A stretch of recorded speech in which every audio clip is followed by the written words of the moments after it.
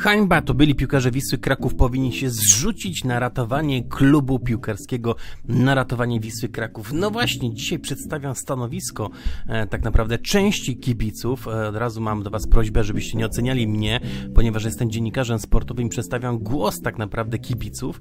Dzisiaj przedstawiam stanowisko kibiców, części tak naprawdę kibiców Wisły Kraków, no bo oczywiście nie jest to stanowisko wszystkich, gdzie e, tak naprawdę kibice mają za złe, że to nie byli piłkarze Wisły Kraków, zrzucili się tak naprawdę na ratowanie Wisły Kraków, czyli na tą kwotę około 4 miliona złotych, ale o tym w dalszej części tego filmu. Na samym początku, jeśli mnie jeszcze nie subskrybujesz, to zostaw suba, zostaw też łapkę do góry pod tym filmikiem, kliknij grze w dzwon, a dostaniesz powiadomienie, kiedy wrzucę nowy filmik. Wiemy tak naprawdę, że trójka osób chce zrzucić się na ratowanie Wisły Kraków. To jest Błaszczykowski, Królewski i e, trzeci tak naprawdę inwestor, tak, przyjaciel Królewskiego, który na razie chce pozostać anonimowy. Wszyscy zrzucą praktycznie do kasy po 1 333 tysiące złotych. W sumie to będzie około 4 milionów złotych. No i to są tak naprawdę pieniądze, które są potrzebne na początek, tak, żeby tutaj załagodzić e, wszelkie tutaj tak problemy, zapłacić pieniądze, wypłaty pracownikom. Natomiast problem jest inny, ponieważ część kibiców ma tak naprawdę e, tutaj pretensje do byłych wiślaków, do byłych piłkarzy Wisły Kraków.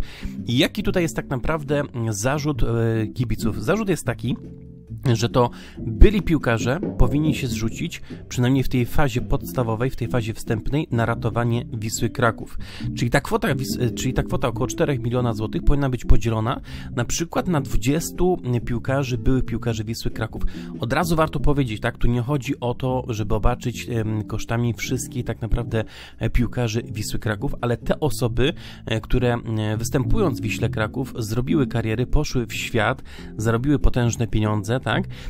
I rzeczywiście mogłyby, i tutaj co uwaga, pożyczyć tak naprawdę pieniądze, 200 tysięcy każdy z nich, no bo 4 miliony złotych podzielone przez 20 osób, e, to jest po 200 tysięcy złotych e, tutaj pożyczyć Wiśle Kraków, tak? Pożyczyć, to też jest warte wspomnienia, że tu nie chodzi o to, żeby darować, e, tylko żeby pożyczyć. Oczywiście, jeśli chodzi o Wisłę Kraków, to przewinęło się mnóstwo piłkarzy, jedni mieli większe kariery, drudzy mieli mniejsze, no ale chodzi tutaj o grupę takich 20 tak naprawdę piłkarzy Wisły Kraków, którzy występowali na dobrą sprawę od lat 90. do czasów współczesnych, którzy zrobili karierę, tak, zarobili po kilkadziesiąt milionów złotych, e, czy po kilkanaście milionów złotych i mogliby teraz pożyczyć 200 e, tysięcy złotych właśnie Wiśle Kraków na ratowanie. Od razu warto powiedzieć, tak, że ta kwota 4 milionów złotych to nie jest jakaś złota kwota, tak, że tylko wystarczyło 4 miliony złotych e, uzbierać, żeby po prostu uratować klub, wszystko będzie ok, bo e, te zobowiązania, zresztą tak jak to było w tej umowie z Macem Hartlingiem w Anali,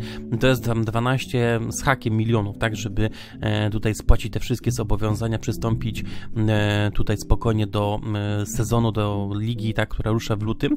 Natomiast Natomiast to jest tak naprawdę, można powiedzieć, e, te najważniejsze, tak, te najważniejsze zobowiązania, e, one wynoszą około 4 właśnie milionów złotych. I tutaj jest duże pretensje tak naprawdę kibiców, że na tą zrzutkę, na ratowanie Wisły Kraków tak naprawdę zrzucił się Kuba Błaszczykowski, e, tak, który wraca tutaj, Królewski i ten trzeci inwestor, a nie zrobili tego właśnie, nie zrobili tego byli Wiślacy, tak, którzy bardzo często przecież tutaj lansują się w mediach, występują w różnego rodzaju telewizjach, są zapraszani jako eksperci, byli reprezentanci Polski, tak?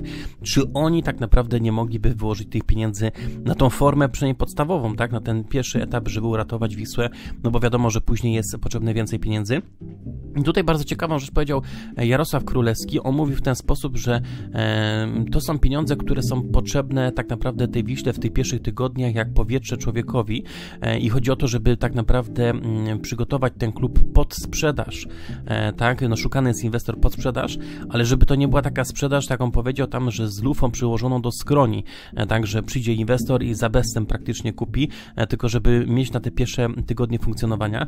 No i właśnie, i tutaj cały zarzut właśnie kibiców, części kibiców jest taki, że to byli wyślace powinni utworzyć taki fundusz, powinni utworzyć taki właśnie tutaj pożyczkowy, można powiedzieć, fundusz, na który, to ja mówię szacunkowo, to byłaby grupa 20, tak, no mógłby to być na przykład, nie wiem, grupa 5 e, wiślaków, którzy by pożyczyli po 800 tysięcy, tak, ale szacunkowo, e, tak, no po 200 tysięcy, 20 były wiślaków, którzy zrobili kariery, przecież mnóstwo tych piłkarzy na pewno ma pieniądze poinwestowane w nieruchomościach, gdzieś w mieszkaniach, to na dobrą sprawę to był koszt sprzedaży jednego pewnie mieszkania, mm, chyba, że no, kompletnie nie myślą, tak, no to wszystko przetracili, no to rzeczywiście, no to ciężko mieć do kogokolwiek pretensje, no bo już tych pieniędzy nie ma. No ale wiemy, że przecież po roku 2000 była era, tak, wspaniała tak naprawdę Wisły Kraków, gdzie Wisła klepała przeciwników jak chcieli. Mnóstwo z tych piłkarzy zrobiło karierę zagraniczną. No i to mają zarzut taki oczywiście kibice w stosunku do byłych Wiślaków. I ja takiego zarzutu nie mam, tak, ja to przedstawiam oczywiście jako dziennikarz sportowy, bo mi ciężko e, powiedzieć, czy rzeczywiście jest to możliwe do zrealizowania, czy też nie. No, no trzeba pamiętać, że no, część po prostu pokończyła kariery, część różnie skończyła, tak, no chociażby tutaj Radosław Kałużny, który z tych informacji doniesień medialnych pracuje za granicą, chyba w DHL-u na magazynie w Anglii, no to mm, tam on mówi, że zrujnowały go e, rozwody i tak dalej, żona i tak dalej, no to ciężko mieć do niego pretensje, ale rzeczywiście, e, gdyby była taka grupa, tak jak 20 czy kilkunastu piłkarzy i te teoretycznie po, po te 200 tysięcy złotych oni mogliby włożyć. I co warte wspomnienia, to kibice mówią, że to nie jest to, żeby oni oddali, tak, czy dali po prostu, tylko pożyczka, tak, to byłaby pożyczka, ale o to chodzi, żeby no bo mało prawdopodobne jest, żeby jeden piłkarz wyłożył 4 miliony złotych, tak? Jedna osoba. E, to chodziło o tak naprawdę stworzenie takiej grupy, tutaj kilkunastu piłkarzy, e, no nawet niech będzie kilkudziesięciu, tak? Gdzie rzeczywiście uzbierano by te pieniądze na początkowe. I tutaj dlaczego kibice w ten sposób mówią, tak? E, no bo kibice mówią w ten sposób, że Wisła Kraków dała możliwości tym piłkarzom do tego, żeby zrobić kariery, żeby zaistnieć i ci piłkarze tak naprawdę zapomnieli o tej Wiśle Kraków teraz jak to ma miejsce, tak? Czyli golili kasę wtedy, kiedy było dobrze, było ok, były sukcesy, a teraz nie pomagają praktycznie tej Wiś Wiśle Kraków, tak, no same zapewnienia, że jest przykro, tak, że Wisła upada, to jest za mało, tak, oczywiście jeśli piłkarze mają możliwość, to przecież powinni pomagać. No i tak naprawdę no, ciężko się jest nie zgodzić z takim argumentem tutaj kibiców Wisły Kraków. Tak jak powiedziałem, ja przedstawiam głos kibiców, tak, części kibiców, no bo na pewno e, tutaj nie wszyscy kibice w ten sposób uważają, nie można wszystkich kibiców rzucać do jednego worka, ale niewątpliwie jest to myślę, że bardzo ważny głos, tak, warto po prostu przedstawić ten głos, bo my żyjemy tak naprawdę cały czas informacjami medialnymi, co powiedział prezes zarządu, co ekstraklasa, a gdzie w tym wszystkim tak naprawdę są kibice, tak, ci zwykli ludzie, którzy chodzą na mecze, którzy kupują karnety, kupują koszulki, którzy kibicują kibicują temu klubowi od lat, tak, od pokoleń, to oni są najwa najważniejsi. Ja zawsze mówię, najważniejszą wartością są kibice danego klubu, tak? Mm, kibice tej białej gwiazdy. I rzeczywiście na forach dyskusyjnych w internecie można przeczytać takie informacje e, na różnego rodzaju portalach internetowych czy na w komentarzach, że to grupa byłych wiślaków, tak?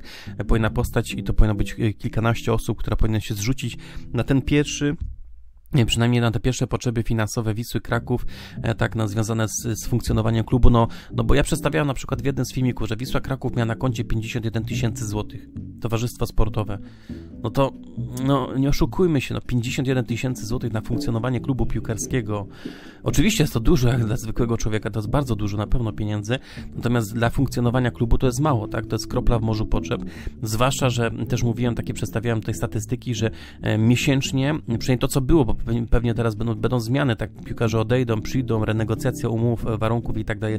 Jest Bogusław Leśnodorski, to on będzie też od, z punktu prawnego robił te rzeczy i tak dalej, tak, żeby pomóc temu klubowi. Natomiast e, wcześniej to było tak, że pensje praktycznie e, piłkarzy to było milion dwieście tysięcy złotych miesięcznie. Milion dwieście tysięcy złotych miesięcznie, czyli rzeczywiście te, te 4 miliony złotych to będzie kwota, która jest nie, nie, niezbędna tak naprawdę tutaj do pomocy. I teraz trzeba tak powiedzieć, powiedzieć tutaj mm, gwoli ścisłości, że to nie jest hejt w stosunku do byłych piłkarzy, że oni nie pomagają, tak? Mm, tylko to jest takie zwrócenie uwagi, to jest taka może po prostu mm, krytyka konstruktywna, że ta Wisła wam coś dała, dała wam karierę, dała wam możliwość e, pokazania się, szansy, no bo gra w europejskich rozgrywkach, tak? Oczywiście jest to zasługa piłkarzy, e, no ale e, Wisła to umożliwiła, tak? Czy można powiedzieć, no Bogusław Słupiał, albo jego pieniądze, które zainwestował, tak, ale no to wszystko skupia się tak naprawdę, czy sprowadza się do Wisły Kraków, do klubu piłkarskiego i tu chodzi o taką formę rekompensaty. No to co robi właśnie Kuba Błaszczykowski, tak? Kuba Błaszczykowski pożyczył temu klubowi milion trzysta trzydzieści tysięcy, a mógłby się zachować egoistycznie, powiedzieć, nie, nie interesuje mnie, przecież Kuba zarobił kilkadziesiąt milionów złotych grając za granicą, chociażby jego ostatnia pensja tutaj w 2000 2018 roku w Wolfsburgu e, to była pensja na poziomie 10 milionów złotych rocznie. No to łatwo sobie przeliczyć, jeżeli miał pensję na po, po, po, podobnych tak naprawdę poziomie przez kilka lat, to, no to zarobi kilkadziesiąt milionów złotych i on w stanie jest pożyczyć, tak? Dzisiaj Wiśle Kraków 1 330 tysięcy, a przypomnę, że w tamtym roku, w 2018 roku też pożyczył pieniądze Wiśle Kraków. E, Wisła pieniądze te zwróciła, a za odsetki on kupił bilety dla dzieci z domów dziecka, które mogły wejść na mecze Wisły Kraków, czyli niejako te odsetki dalej dalej e, wróciły tak do Wisły Kraków, no bo wiadomo, że w Polsce mamy ustawowe odsetki, jak ktoś pożycza pieniądze, to jest tam średnio około 20%, czyli można powiedzieć, że Kuba Błaszczykowski około 200 tysięcy złotych, czyli milion 200 milion 200 tysięcy złotych, które otrzymał, to 200 tysięcy złotych e, przeznaczył na bilety dla dzieci z domu dziecka, to w ogóle szlachetny, piękny gest. Kuba w ogóle będzie legendą tego klubu, pewnie postawią mu pomnik przed stadionem na Reymonta. Napiszcie w komentarzach, co na ten temat myślicie, co na ten temat e, sądzicie.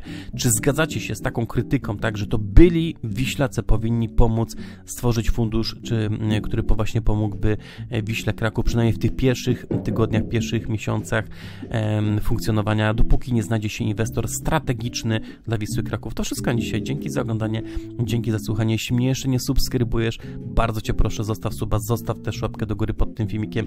Pozdrawiam, trzymajcie się, cześć.